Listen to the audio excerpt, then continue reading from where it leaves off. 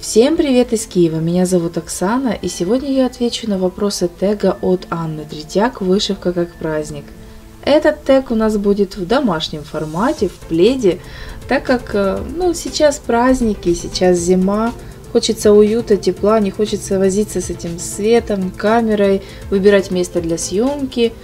Хотя, вы знаете, это место тоже ничего так, как в домике сижу у Даринки под кроваткой. Да, мамочки, если вам интересен обзор этой кроватки, я оставлю ссылку под видео, Даринка уже его сделала для вас. Отвечая на первый вопрос тега, скажу, что вышивка, которая ассоциируется со мной, это моя работа Крик, которую я только недавно начала, от художника Эдварда Мунка и схема по картине которого создана журналом Quadros, если я правильно читаю на испанском. Подробнее об этой картине я рассказывала уже в своем видео, и почему она ассоциируется со мной, вы можете посмотреть это видео и все сами услышите. Единственное, хочу пару слов сказать, что эта картина отражает мое одиночество внутри меня. Я очень люблю одиночество, я очень люблю быть одна, в хорошем смысле слова одиночество. И, конечно же, э, эта картина, она отражает мой характер, или скорее даже мое состояние в какие-то определенные моменты жизни, когда а, все вокруг на меня давит. Да, вот как-то так. Важные даты в своей жизни я не горю желанием отмечать метриками. То есть я не хочу вышивать метрики, и для меня это как-то немного странно, что ли, потому что для меня вышивка это прежде всего способ а, отобразить какую-то картину, которую я не могу сама нарисовать, потому что я не художник. И поэтому эм, это должна быть просто картина, ну, либо какое-то прикладное, прикладное применение вышивки.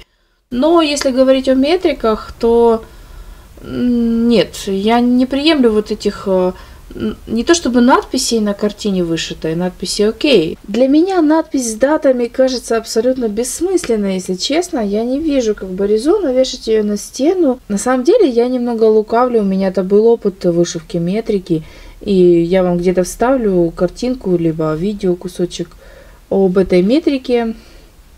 Это была метрика на свадьбу, то есть на нашу с мужем свадьбу, но она была сделана уже очень даже после того, как произошло данное событие. И, если честно, мне не понравилось э, то, что я подписала эту работу, собственно, датой.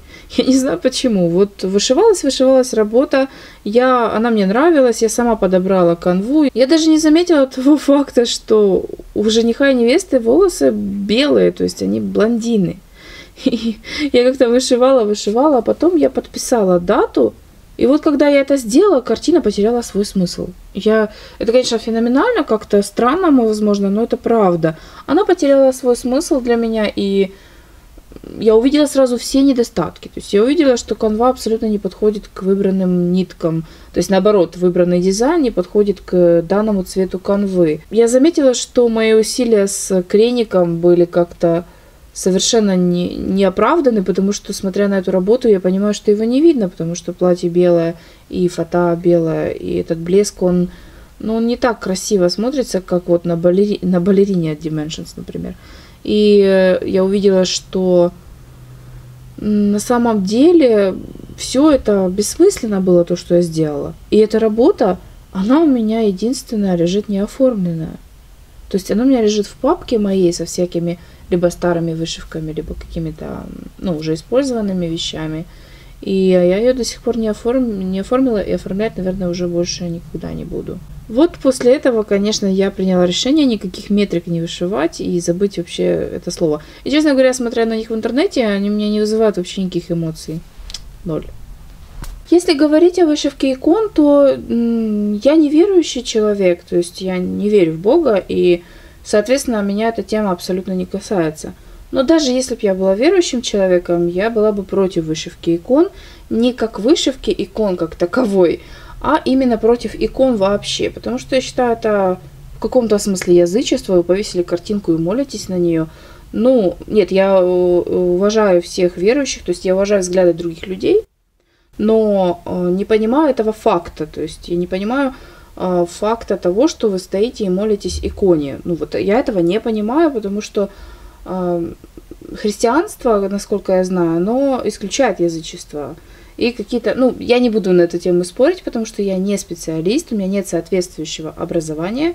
И собственно, опыт есть, но образования нет, вот, скажем так. Работу, которую я с удовольствием повешу э, на свое рабочее место, а рабочим местом я считаю именно вышивальное место, потому что, э, ну, по профессии я банкир, но я не работаю по своей профессии, поэтому я считаю своим рабочим местом именно вышивальный уголок. И туда я повешу картину Крик от Мунка, естественно. Если говорить о компьютерном рабочем месте, то я бы повесила туда абсолютно любую картину, которая в данный момент меня вдохновляет. То есть э, по настроению вот и все.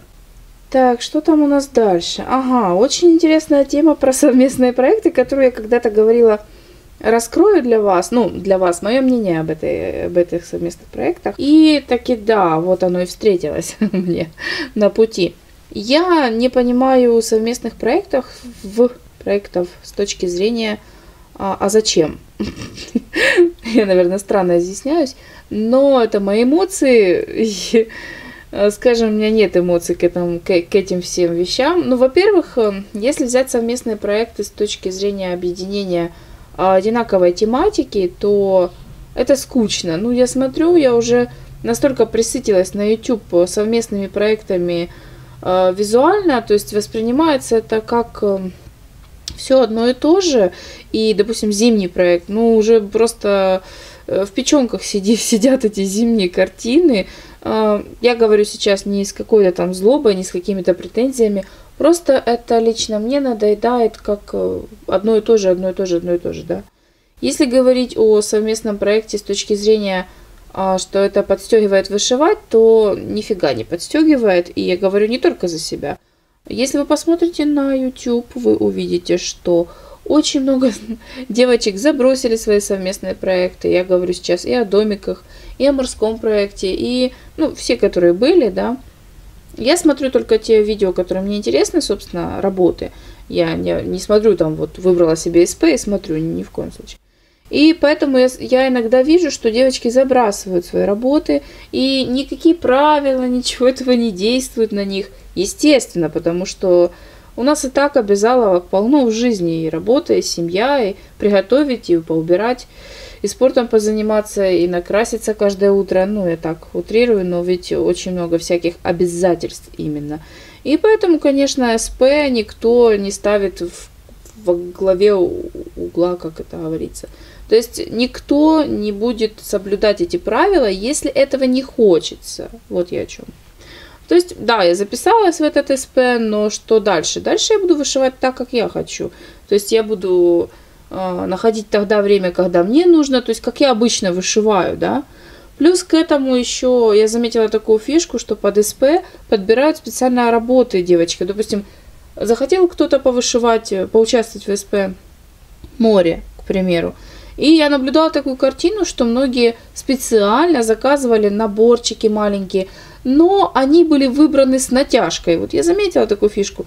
Э, сидит девушка, рассказывает, вот я там хотела очень сильно поучаствовать, я выбирала работы на сайте, там, в интернет-магазине, неважно. И как-то вот, ну, ну, ничего мне так не нравилось сильно. Ну, вот это еще ничего, поэтому я ее заказала. Блин, да зачем? Что это такое вообще? Ну, не нравится вам эта работа до конца. Зачем браться за нее? Потом она превращается в долгострой с плохой, э, в плохом смысле слова. И, конечно же, поэтому я не понимаю совместных проектов вообще. Первый мой дом украсила моя первая, собственно, работа. Она стояла на рабочем столе. Можете это наблюдать. И, конечно, ничего здесь такого нет. Естественно, если вы оформляете работу, даже неважно, первую, вторую, третью, пятую, десятую, вы все равно ее куда-то применяете. То есть, если она уже в рамке, она уже не может просто так валяться в столе, правильно? Ведь вы потратили на нее время, деньги и все остальное. И, конечно же, она нашла свое место, хоть она и маленькая, не на стене, но на столе. Я очень много вышивала и открыток, и миниатюрок в свое время.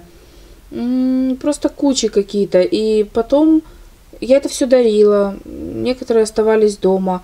И вот вы знаете, когда-то меня очень сильно торкнуло, что ли.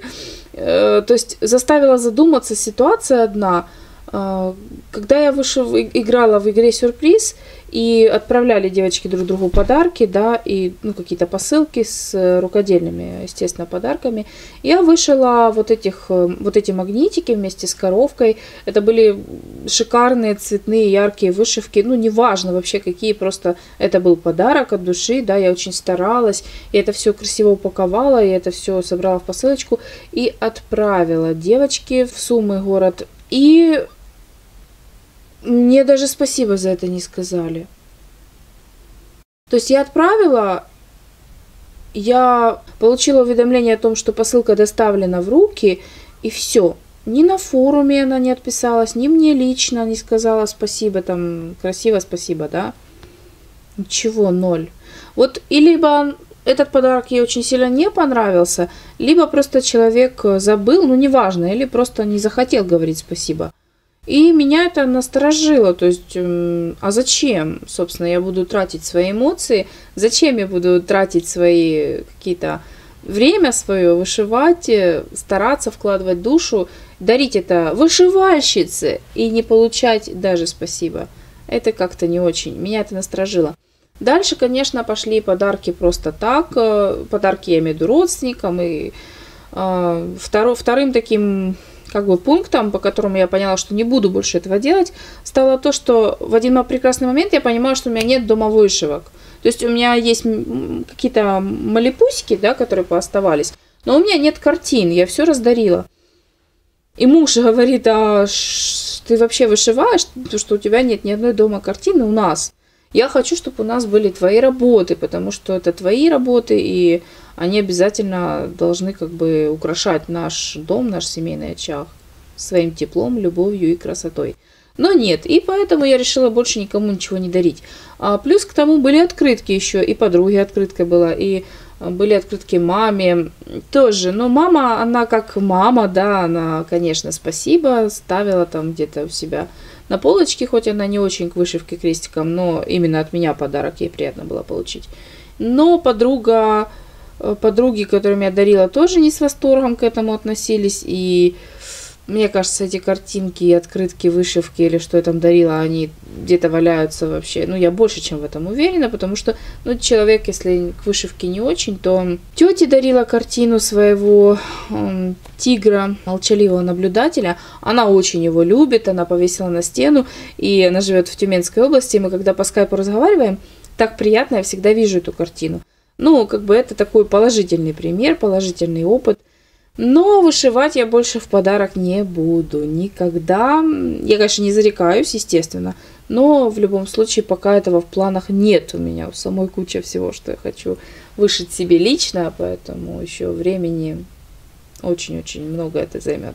Первый пункт в вашем рукодельном виш-листе. Схема и все материалы к ней для набора одного в стиле needlework, то есть вышивка стежками на моноконве разными типами ниток, а, от креника и DMC до там перле ниточки и ручного окрашения, какие-то толстые, там разные используются. И вот я написала автору этой схемы на Facebook, но она мне, к сожалению, не ответила, и на сайте недоступна к покупке эта схема, ну, потому что там, собственно, как-то все непонятно сделано, вроде бы она лично должна отсылать вам эту схему, а не, там нет никакого интернет-магазина. Но я все еще мечтаю об этой схеме, я ищу ее в интернете. Уже нашла пару девчонок, которые отшили эту схему, и э, я с ними связалась, но пока как-то не знаю, как правильно сказать, чтобы они продали мне эту схему, потому что сама хозяйка уже два месяца не отвечает на мои уже два или три сообщения. Вот, поэтому вот это моя мечта пока что на сегодня. Ну что, я надеюсь, вы еще не уснули вместе со мной, потому что я уже начинаю засыпать, если честно. Тут расслабилась совсем и думаю, я вообще видео снимаю или нет. Так вот, если говорить о деде, деде, о Дед Морозе, Деде Морозе, которого и представляю себе я, то это вот такой Дед Мороз. И если он такой, то, конечно же, вышивка, которая украшает его дом, да, не знаю, а, это будет вот такая вышивка. Есть, э, это очень-очень как бы логично. Вот так. То, что я не буду вышивать, сейчас я вам расскажу, но единственная ремарочка, никогда не говори никогда, поэтому это так. То, что сейчас я не буду вышивать, точно. Это иконы, соответственно, это, то есть любая религиозная тематика вообще.